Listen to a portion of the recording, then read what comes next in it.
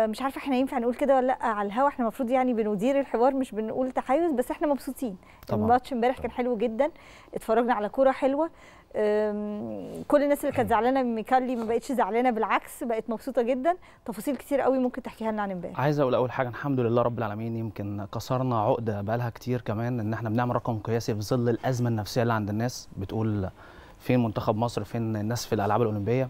إحنا لأول مرة بنصعد آه، مركز أول. صحيح. يعني دوت على مر التاريخ. يعني إحنا يمكن من رحم المعاناة كمان الناس مم. معترضة ولكن ربنا ادانا أكتر ما إحنا كمان عايزين.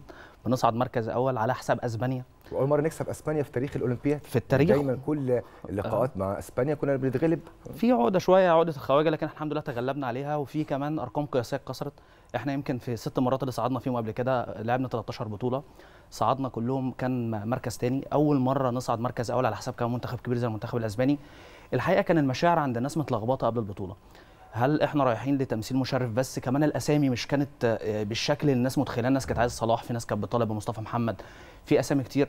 في حالة كمان من التقسيم شوية بين الأهلاوي والزملكاوي المنتخب كان رايح في حتة بعيدة كان عندنا مشاعر من الإحباط. كل الحاجات دي اتغلبنا عليها لما شفنا فعلا منتخبنا. آه، يعني يمكن الماتش الأولاني فعلا ما كانش أحسن حال.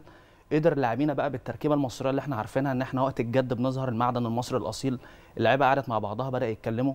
محمد النني صورة تانية خالص مغايرة عن محمد النني اللي إحنا عارفينه. آه، مش علشان قبل كده كان آه، أقل لا يمكن تحمله المسؤولية بشرط القيادة اديته دوافع كبيرة جدا إنه يوجه اللعيبة. ولا لو خد فرصته الإعلام ابتدى يركز معاه.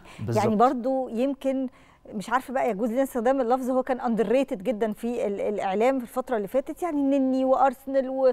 وعمره ما قال حاجة غير يعني أول ما بيطلب بيكون موجود عمرنا ما سمعنا منه تصريح يمين ولا شمال. يعني هو الراجل تمام التمام لكن ما كانش دايما واخد فرصته في الإعلام. أعتقد إن لما. اتسلط عليه الضوء بان بقى المعدن بتاعه. ده في كمان نقطة أكبر من كده، إحنا دايماً عندنا للأسف حتة عاطفية شوية بنحب وبنكره.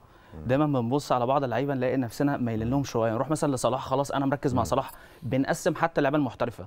لا أنا حسبة صلاح أنا ما أعرفش إيه. محمد النني واخد حتة بعيدة شوية يمكن الأضواء مش متسلطة عليه بالشكل اللي هو يستحقه. جميل. ورغم كده عنده هدوء نفسي وسلام نفسي بال- بالمكان اللي هو فيها.